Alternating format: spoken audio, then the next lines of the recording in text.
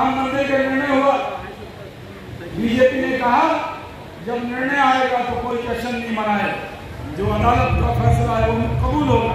और अदालत का फैसला कबूल हुआ, कहीं कोई दंगा नहीं हुआ, फसाद नहीं हुआ कांग्रेसियों को ये देखा नहीं जा रहा। इसलिए आज वो लोग भारत को बदनाम करना चाहते मैं मोतिहारी से महात्मा गांधी की कर्म भूमि चंपारण से पूरे देश और दुनिया को कहना चाहता हूँ। हमें फख्र है कि हम हिंदुस्तान में पैदा हुए। ये हमारा देश है।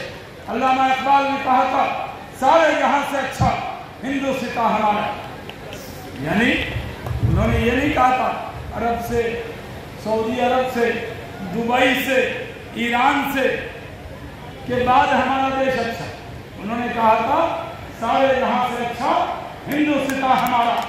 और हमारे आका, ताजदार मदीना मोहम्मद सल्लल्लाहु वसल्लम जिन पर हम अपना ईमान रखते हैं वो कुरान और मोहम्मद सल्लल्लाहु वसल्लम को हम अपने छाती से लगा के चलते हैं। उन्होंने मेरे आका ताजदार मदीना मोहम्मद सल्लल्लाहु वसल्लम ने कहा।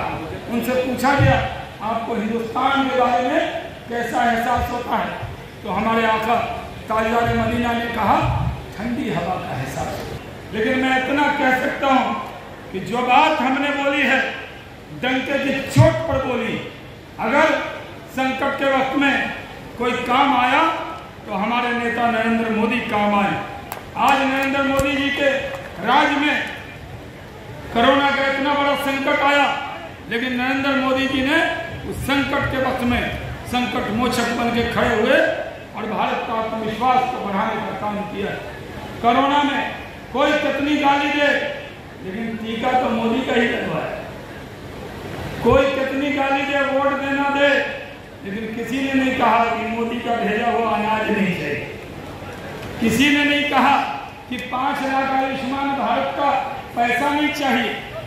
चाहे उसे राधा मोहन जी, शाहनवाज हुसैन पसंद हो या ना हो, लेकिन सुनाने का ना देवी को बेस पसंद है। यानी हमारा टीका भी पसंद है, हमारा अनाज भी पसंद है हमारा आयुष्मान भारत का कार्ड भी पसंद है।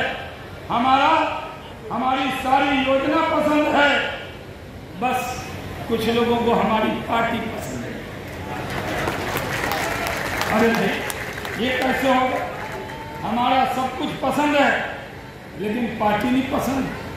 कौन काम कर रहा है? हम लोग ये भारत है।